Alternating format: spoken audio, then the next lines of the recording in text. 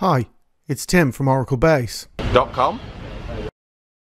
In this video, we'll demonstrate how to include hyperlinks in JSON output delivered by Oracle REST Data Services. Including links is a good way to make web services self-documenting and help navigation between services. In this video, we'll focus on how to include additional links in the service output. We won't be building the additional services to manage these new endpoints.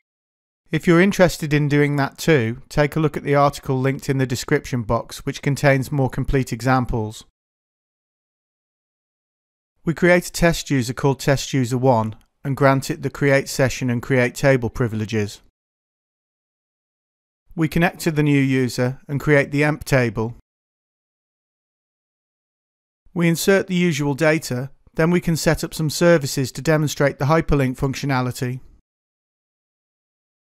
We enable ords for the test user 1 schema and assign the base path of HR. This is a schema alias used in the web service URLs which lets ords know it's dealing with objects in the test user 1 schema.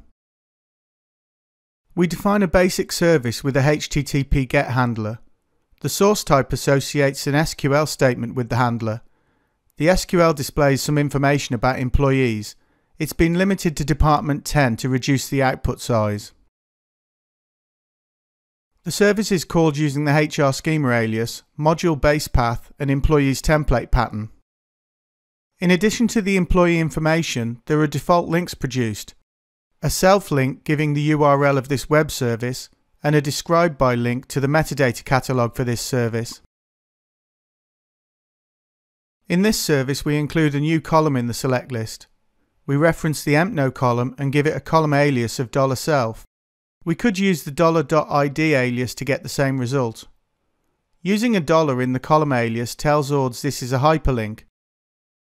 The value of the empno column will be appended to the current URL to define a self link for each item returned by the service call. This represents a link directly to the item of interest rather than returning all items. When we run this, we can see the new links section has been added to each item containing a self link using the empno value in the URL. Remember, this is just a link, it isn't automatically defining the new endpoint. If you want the links to work, you'll have to build a handler for this pattern. Notice we still get the default links for this service. We can deal with concatenated keys by referencing multiple columns with the $ID alias. In this example, let's pretend the primary key for the table is made up of the empno and ename columns. We add two extra columns. The first is empno alias to $.id and the second is ename alias to $.id also. These will be concatenated into a comma separated list and appended to the current URL to form a self link. As expected, when we run this we get the self link for each item ending in the empno and ename values separated by a comma. In this example we have a single column self link but we also include a relative link with an alias of $department to the department service. We use dot dot slash to step back one level in the path, add in the department's path and include the department number in the URL.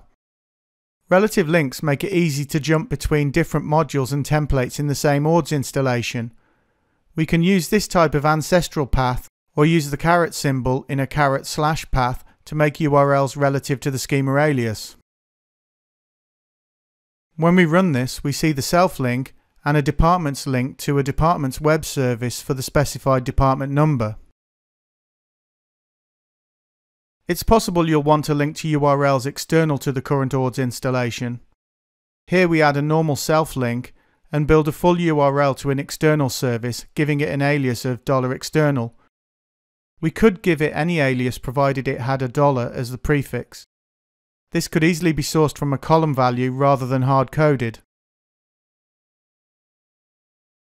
When we run this, we see the normal self link for each item and the external link with the empno parameter tagged on the end.